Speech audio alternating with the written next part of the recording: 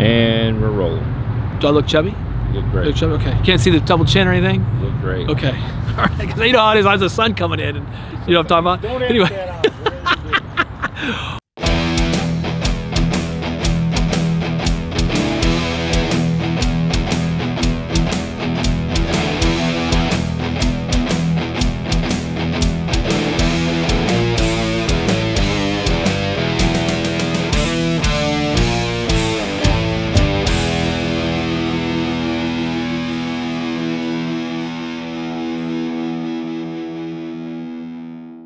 Welcome to South Omaha Speed. We are on location in North Omaha at the intersection of 30th and Ames. And we got a couple local legend uh, historians here, car club members that are going to come on with us and talk about this intersection, talk about some orange crate history. Um, after after it was the orange crate, actually, it got painted up here in North Omaha over the orange paint, so it would be the fourth owner uh, of the car at that time, and we'll get into that uh, the, the fourth guy that raced it, like from 60 maybe to 62, 63-ish. So anyway, thanks a lot for joining, and we'll uh, regroup and get those guys in here and get them introduced. Welcome, South Omaha Speed. We're back on the corner. We got John Sanderhoff here and Ralph Howard, a couple uh, local legends. Uh, we had some conversations about the Orange Crate and the, and the Omaha Coupe, whatever you want to call it, at uh, at the house and at some car meets at uh, Cars and Coffee at out Hy-Vee. And we decided, you know what, there was talking about history on this corner, talking about the car and about all the stuff that happened down here when these guys were kids at this corner. Um, just wanted to kind of just talk with them a little bit and talk about some of the history and the hot rod history of the car clubs and the gas stations that were down here and just some of the things that were going on. And we thought we'd capture some of that history and do that today. So, gentlemen, thank you for coming on the channel and uh, talking a little bit about Omaha history and the, and the car culture that was happening down here in the late 50s to mid 60s. So I appreciate that. And from that point on, we could just kind of talk about what was going on down here and your guys' thoughts and memories, and maybe talk about some of the service stations that were down here when the cars were hanging out at them. If that sounds good. So, anyway, so uh, to start things off, you guys had mentioned the Goldenrod would park right over here by that Explorer by the pole. Is that Coburg's Mobile. Coburg's Mobile? Yeah, Coburg Brothers Racing, and they own the mobile station there on the corner, and, and the Goldenrod always sat out in front every day. When I was about 10 years old, I used to ride my bicycle down here to look at it because it was the coolest thing around. Yeah. And there was a 33 Ford Coupe that sat in front of it that was all black, had a Chevy in it and an Olds dash. You know, when you're 10 or 11, that's just the neatest stuff that, that you could find. Right. It's just starting to shape you for your Yep. future of cars, right? Yep. And you said that was the car that used to pull the Goldenrod to the track. They flat toed with that Sometimes, coupe. yeah. Yep. And there was another car they used too, didn't they? Was there uh, Larry Larry Fritz's. Uh, Terry Fritz's dad? yes. It was a. Uh, what, what year was that? It's Was- like a 55 or 56 Merc. and he, it was a station wagon to begin with, and he uh, he bought it burned out from a fire and turned it into a into a uh, El Camino or Ranchero. I guess you can call it a Ranchero because it was Ford product. Okay. And he painted it the same gold as the Goldenrod, but then he trimmed it in. It was only about half gold. The other, and the lower half was black. Okay. And it was it was a cool car. Wow. And they would run. So did did the Colbert? Because that was a station. They owned the station. Is that They right? owned the mobile station. Okay. yes. And did they they build the car there? Do you know? Or You know, the car was always there when I was a kid, so uh, you know, it was it was a legend then to me. I would Sure. come down here just to look at it. and what year was that? That would be in the 50s, late 50s, 50s? early 60s. Okay. Yeah, Very cool. I was probably 10 or 11. All right. And you said there was three major gas stations right here on this corner, right? That was Yep. uh, the Colbert station was a standard. It was a mobile station. Okay. And then across the street was the that was a standard Standard. station. and then on the other corner, behind the Burger King, where the station is now, Moloch's Conoco. Moloch's. Yep. And some members, some Jack's members worked there. John Pierce. John worked Pierce there. worked there. His Okay. 59 348 four speed El Camino used to sit on that corner all the time with a Jack's plaque in the back window. Okay. Did you, did you ever see the purple 40 there by chance? Or I don't remember if I saw it there. I remember seeing it at the Omaha Auto Show all the time. right, Um, it was built to be a show car, and okay. he raced it some too, I believe. Right. That is the motor that's in the Omaha Coupe now. We got John Pierce's. It is. And John um, and it's still dad. got some purple on it. It's still it? purple, and yep. got some chrome on it because yep. his dad worked at the, at the, chrome shop. Yeah, that car on was 27th, awesome. 27th and Farnam, maybe somewhere in there. Yeah. John and his dad built that in their garage out in Florence. 40. Yeah. Yeah, the transmission and the, and the rear end were all chrome. Wow. That, that was something back in the 60s. Yeah, it's a, it's an honor to have the engine and have it in the car now, just without so much history. So Yep. truly blessed to get a hold of that from the Schumann family. So very cool. And so there was a coffee club or a coffee Coffee house. coffee house down the street. The guys would hang out there, and all the car clubs would hang out down here too. Yes, the, There which car a clubs would, would lot hang of clubs that hung out on this corner. The Jacks, the Diablos, the Florence Road Rebels. Uh, you always saw a lot of their cars down around this corner. A lot of them hung out at the coffee house there. Wow. And then this building right across the street was the bank. Is that correct? This uh, Liberty Tax building. It was commercial savings and loan. Okay. They used to let the car clubs meet there in the evenings if you had a meeting place. Missouri Valley Timing Association met there Wow. in the in the 50s and 60s. I mean, that's pretty crazy. You think about a bank opening their doors to let the car clubs get. I mean, that Yeah. wouldn't happen today. You wouldn't think. I mean, that there's a lot of car clubs, but you know, I mean, banks aren't opening up at evening for local kids to come in and hang out, right? So that's just cool in itself to hear that story. So very cool. And there was a lot of cruising going on around here at night too, or not too much. We'd go uh, down to uh, uh, Caniglia's, down to the Royal Boy. Uh, not, then it became uh, Caniglia's, just the restaurant. Yeah, I would, But- I was too young then. That would be more in your age, John. That was a Royal Boy, you He- say? Yeah, Giano Caniglia is the Royal Boy at 30th and Fort, and that was a that was a hangout there. Everybody hung out there. It's the only drive-in restaurant I've ever seen. They served your drinks with a glass glass, a real glass. When my mom passed away and I cleaned out her cabinets in 2005, she still had about a dozen of them because I you'd always take them home. Did they say Royal Boy on No, them? or- there was just a glass You just glass. knew they were from there because you recognized them. Yeah, It was right across from the fort down there, right? The Yes, Fort Omaha, where yes. that is. And so I, I talked to Ken Netwig last night, who uh, actually worked there. He was talking about that, that it was a drive-in before it was a restaurant, Caniglia's restaurant. Way Yeah. back in the day, I didn't know that. So that was, 35 cents an hour.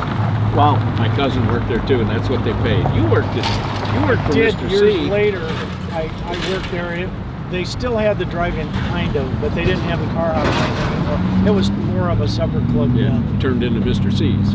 Uh, yes. I got a job there when I was in junior high, and as soon as my dad found out I had it, he made me quit. Right. 'Cause I was like 13 or 14. Sure, but you would need that money to get that hot rod stuff going, There you right? go. You gotta have that, that car money, right? Very cool. So, as far as this area, back in the day, a lot of businesses down here. I mean, not that there's it now, but I mean, there was like Skinner Macaroni. We drove by that, right? Nabisco, which Yep, is that's Nabisco. cookies right there And behind that's you, Skinner Tom. macaroni right down there. that's, that's Skinner Macaroni, Yeah. Yeah. and that's was Nabisco. Yeah. There used to be a big rail spur line that came up here. The New Pacific would just actually. on, just on the other side of, of there and across 30th. Uh, I, I, I The think that was company. that was uh, that was Mopac. That was Missouri Pacific. I think originally it was UP, and then it went to Mopac. Years, yes, but probably early on the 1800s Yeah. or whatever it was. They, Grand Battery. Grand Battery was across the street, and Yeah. they served them too. And there was a Chevrolet dealership a half block down. Dewey Chevrolet. Dewey Chevrolet. which is now Huber bought Dewey, so it's Okay.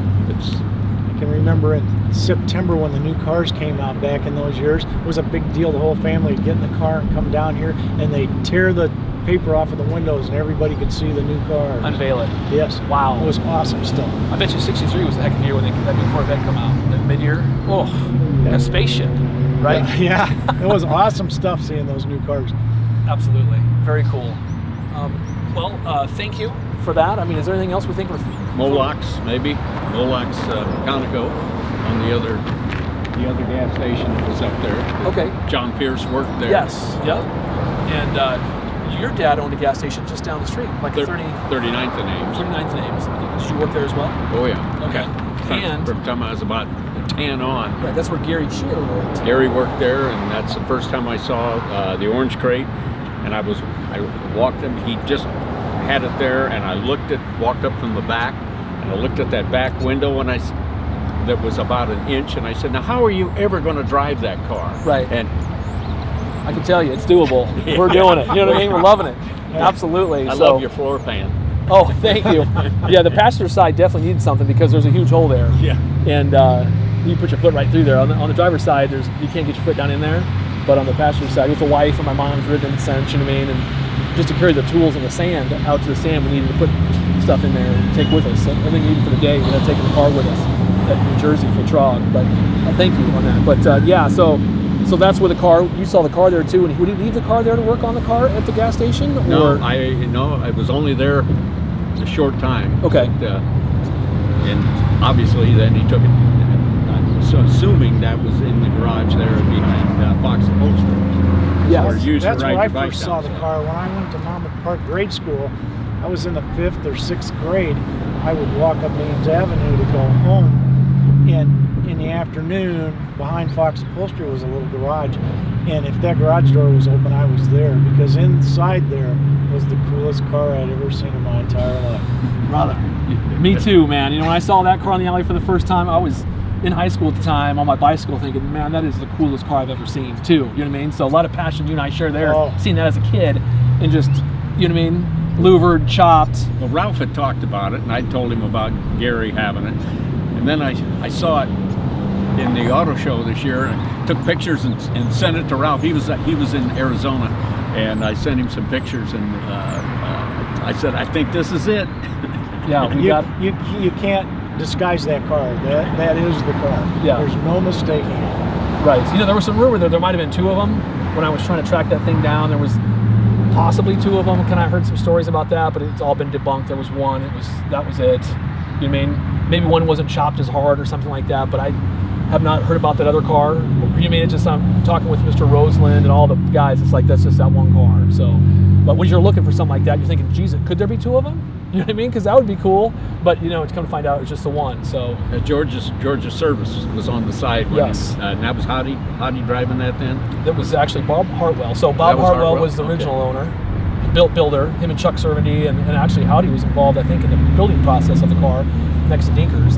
And then it was uh, Hartwell moved back to California, but left the coupe here and sold to his buddy Howdy with no motor, no tranny. Howdy gets the car, puts an old or puts a small block Chevy in it, 56, and him and Bob Sugar put that small block Chevy in it, and then he gets the big Olds motor back from Hartwell he originally had in it, and then then Howdy did 50, late 56, maybe 57ish. He still he's racing it all over the Midwest, flat toning around with his 54 Ford, and then they take it to Bonneville by um, Bob Risks 57 Chevy. It was a white 57 Chevy. They towed it to Bonneville with at 57 with the big Olds, and Howdy had it there. They ran like 145 officially, and unofficially it ran 165. I think he broke the motor. Too much nitro. Then he sells it. how he sells it to Bill Hanna. It becomes the Orange Crate, right? And he was a Rebels member at that time.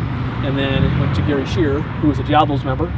And that's when you seen it when he had it in the garage up there down the street, which we'll go look at here. Sure. Really excited about that. So It's a shame we can't go back in time to about a year ago when Chuck Cerveny was still alive. I know Because Chuck so much history. Chuck knew more about cars and I mean the only guy that could come close to him was Bob Paledna, I think. He- Yeah. Chuck It's shame. Yeah, Yeah. because he, we were having conversations on the phone, and uh, that winter before he passed. Uh, matter, matter of fact, I talked to him two weeks before he passed. He was well, telling you, stories. you talked to Yes, Chuck. I talked to Chuck. He chopped it. He helped with Hartwell chop it. He welded the chop. He told some great stories about the Jacks clubhouse and the cops coming down there and racing 240 Ford coupes with Oldsmobile motors in them with open headers. And the cops came and wow, just the stories he was telling in the Hanscom Park Pavilion. They got kicked out of their clubhouse next to Dinkers, which was the Shilly Town Tavern back then. She was down Shilly Yeah, Town, and then they got kicked out. And they said no more club because all these guys were young, and they got these beer crates from the from the bars right around there. You know what I mean? Because for chairs, it looks like they're a bunch of drunks, but there might have been some drinking going on. Is what he said. so anyway, they, they they pushed him down to Hanscom's Pavilion, and that's where they have their car clubs. He said he he said there was like five hardcore racers and 40 club members ish. And all these guys are paying their dues and wear the jackets and the plates, and all that money was going into the racing fund. Sure. He said there'd be 30, 40 cars all parked on the in the park there by the pavilion where we were having the club meetings for the Jack. So, yeah, we had some great conversations before he passed. That's It was- awesome. Yes. He actually has the original uh, LaSalle tranny that ran in Bonneville in the car, Howdy's old tranny, that was converted to the torque tube and all that for the, yeah. We're losing those guys at a terrible rate. Uh, we need to have the history before things bad happen. Absolutely, and I appreciate you guys. Not that you guys are going anywhere soon, but I appreciate you guys telling the stories, and you know we're all going to get there eventually, right? We're all, it's the end is the way it inevitable, is. right? So That I appreciate you sharing the story. I mean, I've driven through here many times, had no idea that there was a big car hub with all the car clubs here, and you know, you you'd mentioned too that Diablo's Car Club shop was Their shop was about two blocks from here. Yeah. Um, they had a four-car garage. This was so long ago, Tom, that they had barn doors for garage doors. Wow, We used to go down there. it's very cool. I know we drove by that site and it's no longer there, but we, we could maybe go, go by there and shoot the lot. Sure. Just kind of show where it was at. But thank you for that. And just that kind of history there. And I just learned from Bill Hanna, who was the Orange Crate owner. Right, you know, he built that. You know, the, really, he he bought the car from Howdy and campaigned as the Orange Crate, painted Omaha Orange. He was a Rebels member. I stopped by his place on Sunday with the car, and that's a whole other story. But he was talking about the Rebels Car Club was on their garage was on 19th and Cummings. Right, Yeah. right behind Creighton University. Yeah, down a little alley right there. And I kind of looked up on Google Earth, and you could there's an alley still there, but the buildings are all gone. But there's a couple pads still there. I'm get, best, get, guessing one of those is probably the old shop. I was actually in that garage one time when I was about 13. I Wow. belong to the to the rebels now. There's still some of those older guys in there. Um, couple of guys you may want to talk to is Gary and Gail Chadwell. Okay. Gail built a 32 Ford 5 window in that garage out of new old stock parts. Awesome. Wow. I remember being in that garage and the fenders were hanging on the wall and they were wrapped in that two inch wide brown paper that said forward every few inches hanging on the wall. Brand new stuff. Brand new. Wow. Bought a brand new 327 365 from Dewey Chevrolet and put in it. Gail, Gail would be a great interview for you. The good old days. Yep, he would days. remember some of that stuff. Very cool. Well, anything else we're going to talk about in the corner here? Should we head on down to Fox Upholstery, the old the old structure? It's not Fox Upholstery anymore, but it's a, a house now, I think. But we'll go take a look at that and, and see the area where you seen it when you were a kid walking home from school, Yep. and then maybe take a stop over to Diablo's garage. Cool. Awesome. Thanks, guys.